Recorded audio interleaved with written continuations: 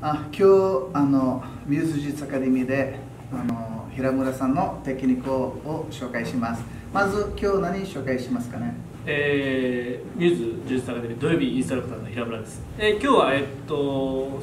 以前にマイサバストスのセミナーで教えてもらったレディンボロを紹介したいと思います。お願いします。はいここで、えー、で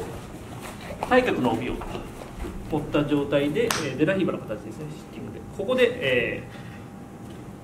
ー、回っていきます。回ってた時に相手の帯反対側の帯を持ちます。この際、えー、右足は相手の腰から離れないようにしておきましょうそして、えー、この左足をフックをフックをしっかり引っ掛けた状態で上に上げると相手の足が上がるのでこの相手の足を掴みます。掴んだところに足を差し替えてここをキックすると相手が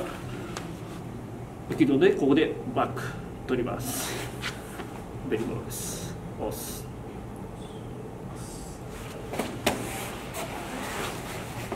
もう一回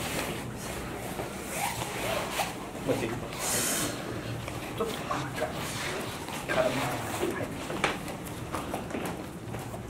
こで回ります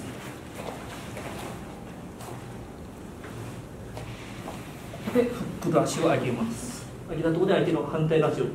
グリップを持ちますここでキックしてバックテイクです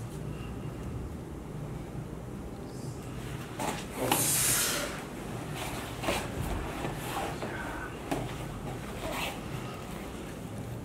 どうぞ大丈夫？じゃあ皆さんありがとうございました。ありがとうございました